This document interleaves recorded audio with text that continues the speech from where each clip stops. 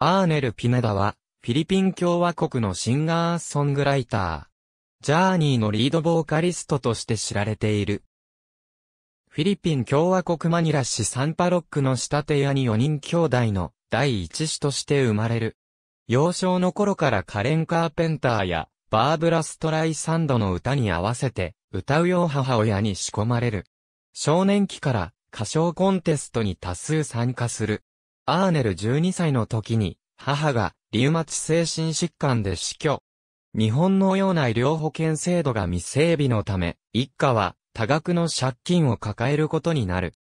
アパートの家賃も半年から1年分滞納するなど、困窮したため、アーネル以外の兄弟は親戚に預けられ、父親の負担を減らすためにアーネルは、キアポパロキアル校を、自主大学、エンジニアになりたい夢を捨て、一人独立を決意する。約2年間、路上生活少年となり、リサール公園や友人の家近くのベンチなどで寝て、リサイクル業者に空き瓶、古新聞、くず金属などを集めて売って、わずかな収入を得る。時には、港湾地区で船舶の清掃をする、埋葬歌を歌うなどしたが、満足に食えず、2日間の食事がマリービスケット少々だけの場合もあったという。喉が渇いたら、ガソリンスタンドで油風味の水を飲むなどした。このようなどん底生活にもかかわらず、アーネルは将来について楽観するように努めていた。1982年アーネル15歳の時に、イホスバンドのリードボーカリストとなり、シェーキーズピザで歌う。1986年には、イホスの旧メンバーがアモというグループを結成、ロックウォーコンテストで大賞を獲得した。1988年ヤマハバンドエクスプロージョン、フィリピン予選で、アモは1位となるも、香港大会で予選決勝敗退。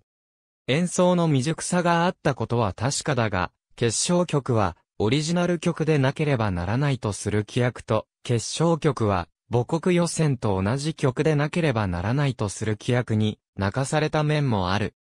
フィリピン予選で優勝した時の決勝曲は、クイーンのボヘミアン・ラプソディで、アモのオリジナル作ではなかった。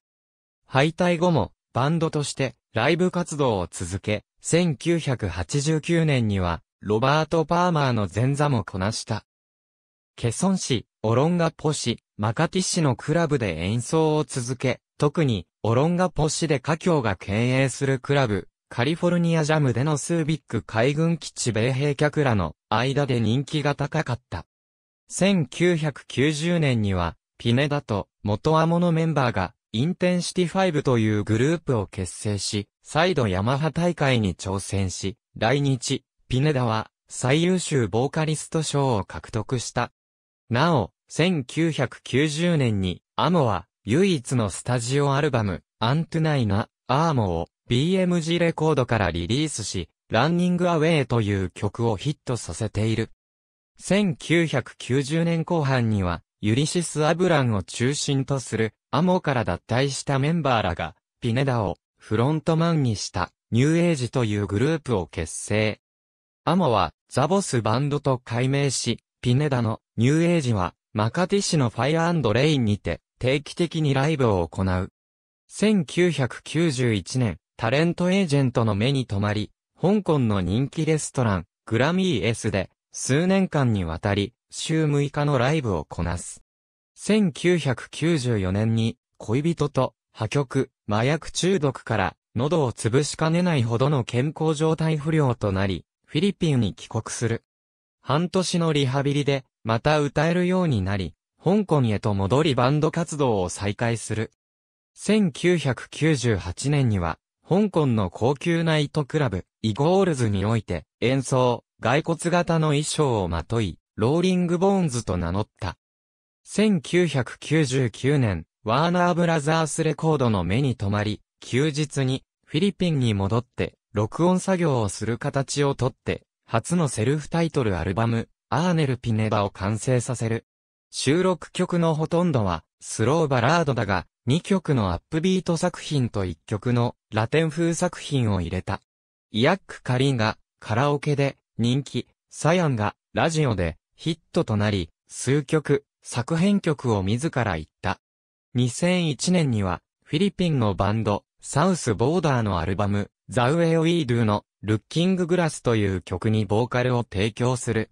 この頃から、ピネダは、9mm という新バンドを結成、マカティのハードロックカフェや香港蘭桂坊のザ・エッジなどで演奏する。2004年に女性シンガーとピネダのツインボーカル形態のグループをニューエイジの9メンバー3人が結成し、モストウォンテッドと名乗る。月から土は香港のザ・キャバーンクラブで3、4時間演奏し、日曜日はフィリピン人コミュニティのイベントで演奏したりした。2005年にはフィリピンのラジオショー、デーヨのテーマソングを録音する。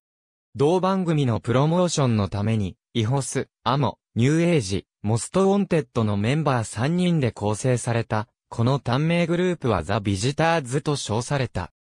2006年に、フィリピンタレントマネージャー、テレビディレクター、バート・デ・レオンの後押しもあり、ギタリストのモネット・カヒペと一緒に帰国することに。ベースのエミル・ボンドック、キーボードのエドガー・メンドーサ、ドラムのマッコイ・アルカンターラを加えた布陣で、ザズーを結成、レオンの会社サンダンスエンターテインメントコーポレーションと契約する。2006年から2007年にわたり、マニラやオロンガポで週4、5回演奏する。2007年9月、MCA ユニバーサルより、デビューアルバム、ズーロジーを発売。12曲のオリジナル作と1曲のカバーナンバーで、構成され、うち5曲が、ピネダ作、1曲が、ピネダとマーク・バリアンテとの共作となっている。ニュージャージー州 PNC 銀行アーツセンターにて、熱唱する、アーネル・ピネダ8、11、2008ボーカリスト不在で、低迷中であったジャーニーだったが、2007年秋に、ニール・ショーンが、YouTube で、ジャーニーのヒット曲、フェイスフリーを、ザズがカバーしていたのを偶然視聴し、スティーブ・ペリーを彷彿とさせる声質と高い歌唱力に衝撃を受け、アーネルに連絡を取る。最初、アーネルはいたずらだと思い込んで相手にしていなかったが、周囲の説得と友人のノエルの助言もあり、ニール本人だと知ると慌てて連絡を取り、サンフランシスコへオーディションに来るよう命じられる。その後、ジャーニーのボーカリストとなる。ちなみに、入国審査官に渡航目的を聞かれ、ジャーニーのオーディションを受けにと答えると、じゃあ、ホイールインザスカイを歌ってみろと言われ一節、歌ったところ、あっさりと入国が許可されたという。アーネル加入後の初作品、レベレーションは、チャート5位に入り、バンドにとって、久々のヒットとなった。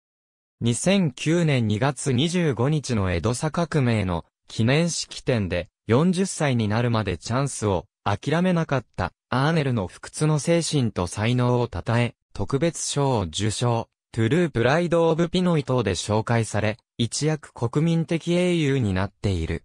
3月には、東名阪を回り、14日には、母国フィリピンのマニラで、凱旋公演も果たした。この模様は、DVD、ライブインマニラ2009としてオルマートにて、限定発売された。CBS のインタビューでは、亡き母への感謝で涙ぐむ場面もあった。また、2010年のデビッド・フォスターフレンズのマニラ公演では、元シカゴのピーター・セテラ登場前に、ステージに呼ばれ、シカゴ17の代表曲、忘れ得ぬ君にをカバーした。2011年に、アルバム、エクリプスをリリース。2013年には、彼のジャーニーへの加入と成功を勝ち取るまでの奇跡を、綴ったドキュメンタリー映画、Don't Stop Believing, The Everyman's Journey が制作、公開された。父レスティピネダは、今なお仕立て屋として、フィリピンで健在。